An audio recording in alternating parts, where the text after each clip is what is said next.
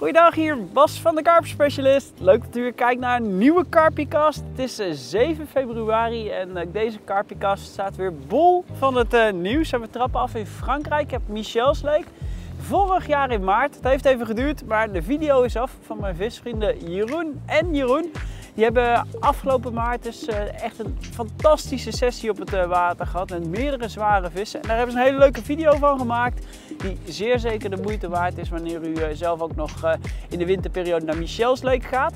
ook Bianca en Lisette en Kenny vissen op dit moment op Michel's Lake. Hard werken, maar de vis is in uitstekende conditie, dus dat ziet er fantastisch uit. Waar nog meer heel erg lekker gaat, is op de Koperen Plas. Op de Koperen Plas hebben we Jeroen Stemerdink eh, deze winter veel bezoek gehad. Jeroen die kent het water op zijn duimpje en uh, ving echt een hele serie mooie vissen. Waaronder een 28 kilo spiegelkarper. En ook René Schuit, en de meeste mensen kennen hem natuurlijk wel als beheerder van Old Pollard Lake. René Schuit is ook nog een eh, weekendje die kant op gegaan en ving een fantastisch mooie spiegelkarper van 18,7 kilo op de Koperen Plas. Dus daar komt mooie vis uit. Het is hard werken voor een visje op het moment op de Koperen Plas, maar wat eruit komt is echt in topconditie. Dan gaan we weer terug naar Frankrijk, naar Domaine de Goncourt. Uh, daar hebben we uh, Lucy, uh, natuurlijk die druk bezig is in de winter om alles klaar te krijgen. We hebben daar de nieuwe wateren Messange en Pinson natuurlijk. Daar is deze winter wat extra vis uitgezet, maar belangrijker misschien nog, daar zijn mooie stijgers aangelegd rondom het water.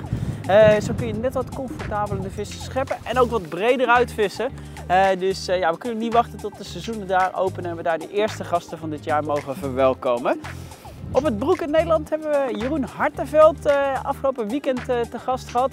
En daar stormde het net zo hard als dat het nu doet. Het was echt geen prettig weer, maar Jeroen wist uh, ondanks de storm toch nog zeven mooie karpers voor de camera te krijgen. Dus klasse gevist, een hele mooie wintersessie beleefd. Vanuit Frankrijk kregen we van Richard, de eigenaar van Grand Pré, een hele fotoserie door. Uh, de faciliteiten op Grand waren altijd wat verouderd, maar had nu tijd en budget gevonden om dat eens even heel flink aan te pakken. Nieuwe douche erin, nieuwe keuken erin en er komt ook een koelkast uh, in en een uh, ruim zitgedeelte. dus Grand Pré is weer helemaal klaar voor 2024. Van Grand Pré gaan we door naar Grand Sim. Qua naam lijkt hij op elkaar. Qua visserij is het, uh, is wel een verschilletje. Siem is uh, wat kleiner en wat makkelijker te bevissen. Daar hebben we Mark Hofman van KWO op bezoek gehad voor een paar winterse nachtjes. En hij wist uiteindelijk drie karpers, uh, te, sorry, acht karpers te vangen in drie nachten. waaronder een 25,2 kilo. Mark heeft zoals altijd natuurlijk zijn videocamera met zich meegenomen. En de video die zal medio maart ongeveer live gaan op de KWO community. Dus zeker de moeite waard om te bekijken. Dan gaan we naar Hidden Carp Lake. Op Hidden Carp Lake hebben we natuurlijk deze winter de fantastische uitzetting uh, gehad van, uh, uh, van een nou ja, flink wat grote vis. En Jacques, een van onze vismaten, die mocht van de eigenaar deze winter een paar dagen die kant op om eens te kijken hoe de vissen het doen. En die wist meteen als eerste vis een 22,5 kilo scrubkarper te vangen. Dus complimenten Jacques. en nou ja, zo'n mooie wintervis, die pakken ze je niet meer af. Dan gaan we naar Etang de Galois. Nou, Christophe en Lulu die kunnen één ding uh, niet en dat is stilzitten. Daar wordt in de winter altijd flink geïnvesteerd. Mensen die hebben één doel voor ogen en dat is gewoon absolute kwaliteit leveren. En dat hebben ze nou ja, door verschillende dingen natuurlijk gedaan. Waaronder een stek 11, die krijgt een complete metamorfose. Daar is een hele berg grind uh, gestort. De stekken zijn echt mega ruim. Dus naast het huisje heb je ook nog heel veel plek om niet alleen je auto's kunnen parkeren, maar ook om je tenten op te zetten op de grind. En ook de stijgers gaan aangepakt uh, worden. Daarnaast is er irrigatie aangelegd, zodat de stekken uh, ook uh, bij extreme regenval of hoge waterstanden geen last hebben van modder. De toegangswegen die zijn flink weer extra verhard met nieuwe lage grind. En voor de Jeet wel heel erg leuk. Ik heb de Jeet zelf een aantal keren bevist. En wat eigenlijk jammer was van de Jeet, als je over een nadeeltje of een verbeterpunt uh, kon spreken, is dat de deur redelijk smal was. Dus dat je relatief weinig zicht had naar buiten als je in de Jeet zat. Nou, dat euvel wordt aangepakt, de deuren worden verbreed en er komen extra raampartijen in. Zodat je ook aan de voorkant van de Jeet straks fantastisch uitkijkt over het mooie water en natuurlijk de bergen op de achtergrond. Dus uh, het ziet er heel erg mooi uit. Dan gaan we naar de karproeven Timmy's Lake. Uh, daar ben ik zelf vorige week donderdag even op bezoek geweest. Uh, collega's Jeroen en Vincent hebben er een paar nachtjes gevist. En hele mooie vis uh, gevangen. en er komt nog een podcast aan samen met Timmy. En ook kregen we leuk nieuws door van Sergey. Sergey die had vier karpers afgelopen nacht. Twee veertigers erbij, zo'n schub als een spiegel. En dan nog een 12 en een 17 kilo. Timmy's Lake die gaat op de, als de brandweer op het moment. Dus mocht je nog hebben in een, uh, in een winters weekendje vissen, dan uh, zou ik zeggen, ga die kant op. Er zijn nog ruim uh, wat plekken beschikbaar.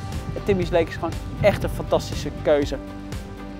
Op Ternau Le Petit ook nog leuk nieuws. Daar had de eigenaar Florian de eerder deze winter al 25 karpers van 10 kilo plus en 5 karpers van 15 kilo plus uitgezet. En hij had als viskweker ook een fantastische 19 kilo albino meerval in de netten. En die is ook plaatsen naar Ternau Le Petit. Mocht je het leuk vinden om een klein watertje exclusief af te huren met accommodatie en mooi betaalbaar in Noord-Frankrijk in de prachtige Champagne-regio, kijk dan zeker eens naar Ternau Le Petit. Hij is populair, maar er zijn hier en daar nog een paar weekjes vrij dit jaar.